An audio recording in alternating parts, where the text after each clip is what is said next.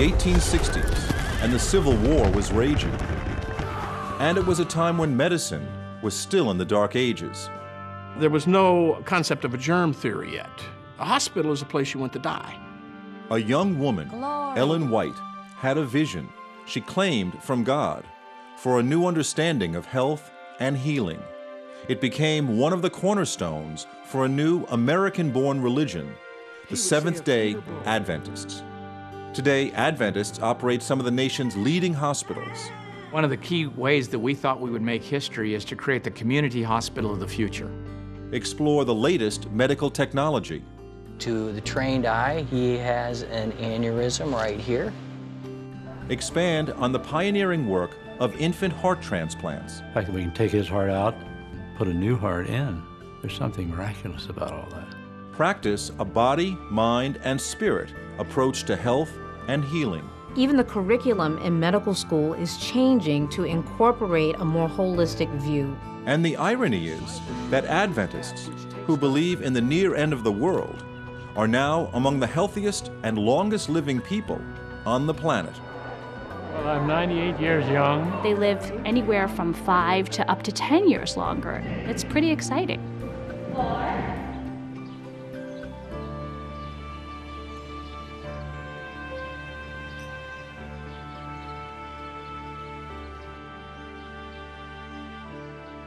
About one hour east of Los Angeles is Loma Linda, California.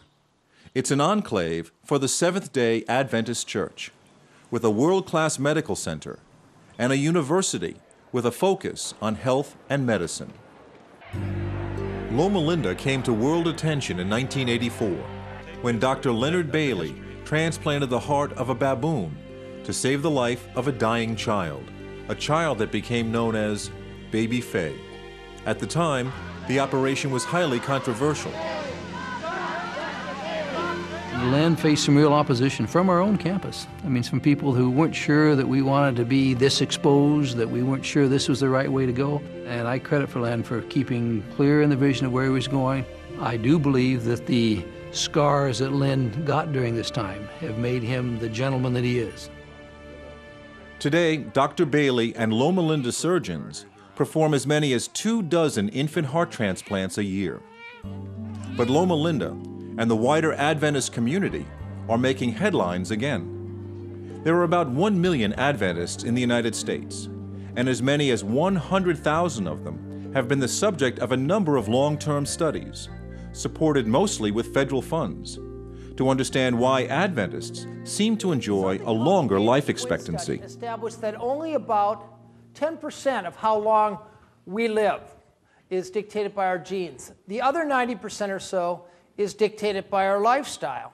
Dan so Buettner led a research project for National Geographic that turned into a best selling book, The Blue Zones.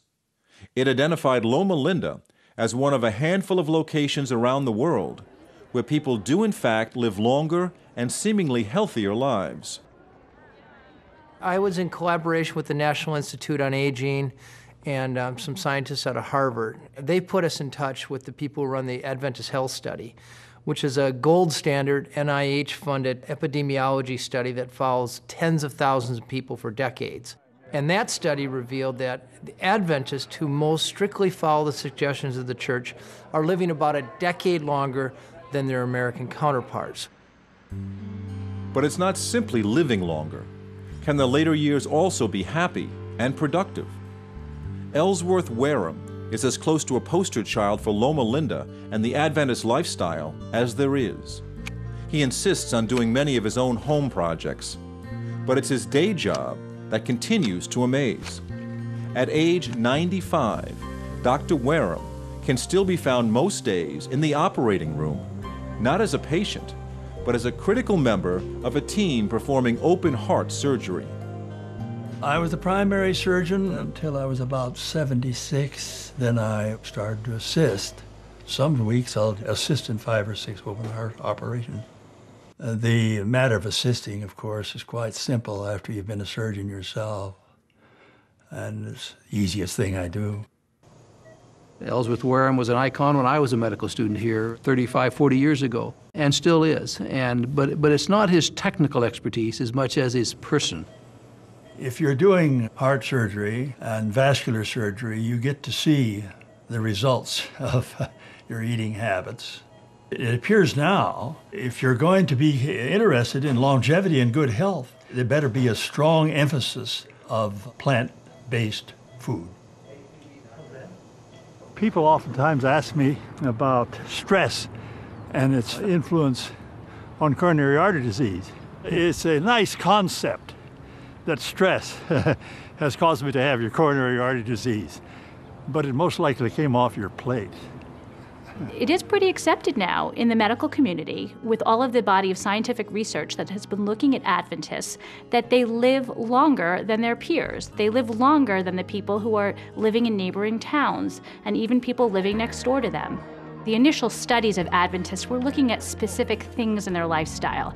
They found that because they're vegetarian, they eat more nuts. So originally we were saying in the early 1990s, hey, let's all eat walnuts, let's all eat almonds, which is a good first step, but with the Adventists, it's much more holistic. It's their whole vegetarian lifestyle, which includes a lot of fruits, vegetables, and whole grains.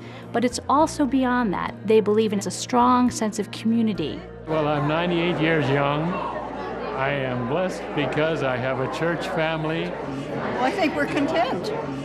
I think that I think contentment means a lot. Six, seven, give me four.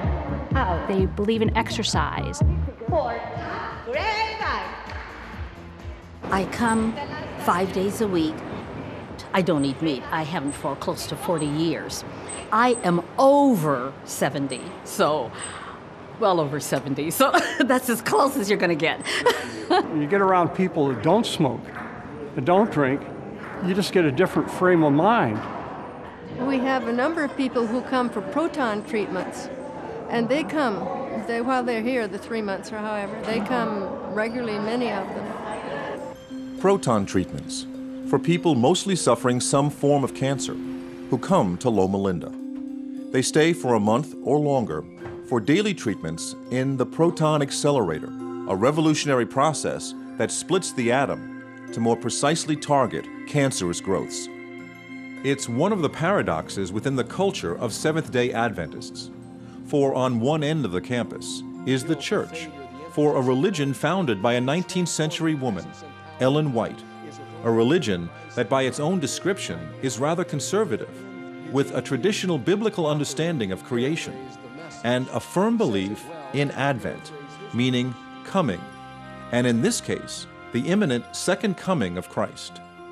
Yet, across the same campus, Seventh day Adventists are on the cutting edge when it comes to medical science and holistic health. I think what makes Loma Linda so unique is this attempt to ride the line between both faith and science in which we actually see faith as complementing, directing, and strengthening science, not as something we're trying to put back or, or, or leave behind.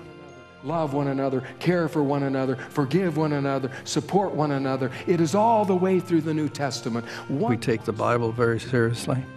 I think that we are conservative as far as most people are, are concerned. Uh, we have a lifestyle that is conservative, not as conservative as it once was. Most people, when they hear about Adventists, have the foggiest notion of what an Adventist is. I have to admit, I'm most uh, pretty ignorant about Seventh Day Adventist Church.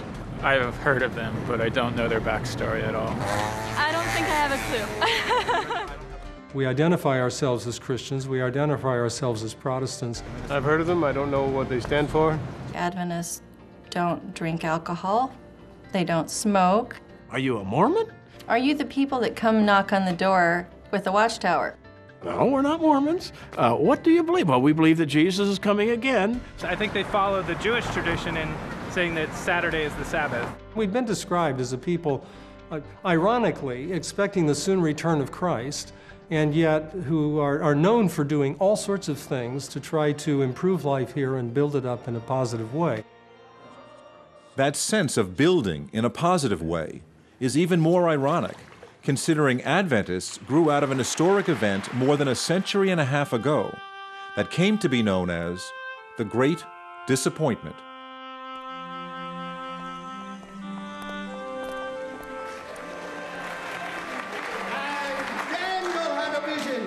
a vision from God. And he said, I was frightened and fell upon my face. But he said unto me, Understand, O Son of Man, your wisdom belongs to the end of time. In the mid 19th century, a Baptist preacher, William Miller, traveled the country preaching that the second coming of Christ was close at hand. Tens of thousands believed he was right.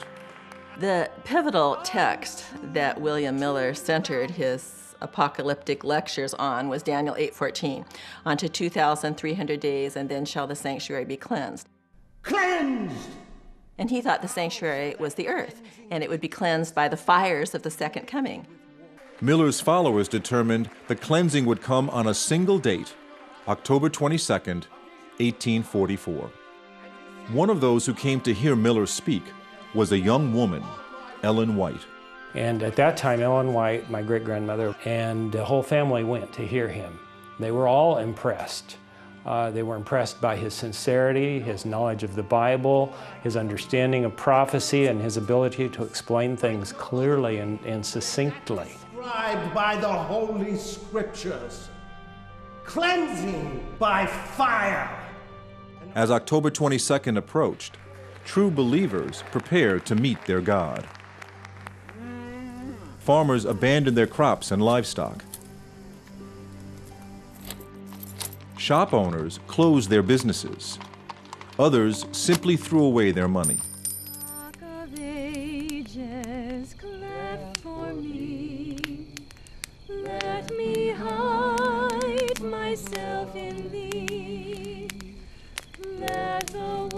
And that night people gathered and waited to be united with their God.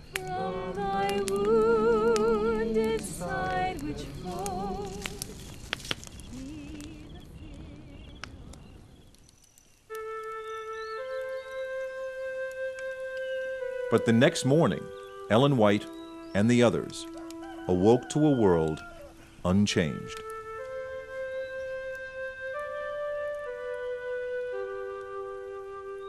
She believed with her whole heart that Jesus was coming. She writes in her own writings, I went home and I cried all night. I think the disappointment of those earnest believers knew no bounds. And of course, mobs gathered about their places of worship to, to mock them and intensify their misery. And that term, the great disappointment, is, is widespread among Adventists. It was a reality that still exists, I think, within the community. He did not come. And that, I think, undergirds the whole idea of the importance of the body. God didn't come back, but we've got one another, and God says He's with us in this body. As Ellen White sought to understand what the disappointment meant, she had visions. Over her lifetime, she is said to have had 2,000 visions, which Adventists believe came directly from God. Those visions would help chart a course for the new church. She would often faint on the floor. They'd put a pillow under her head, and she would be seemingly out of it. They would test, and they couldn't see that she was breathing. And then she would come out of these and start saying what she had seen.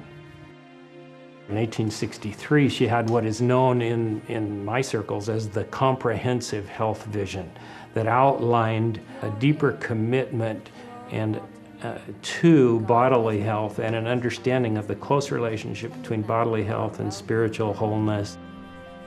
This vision on health was actually quite encompassing.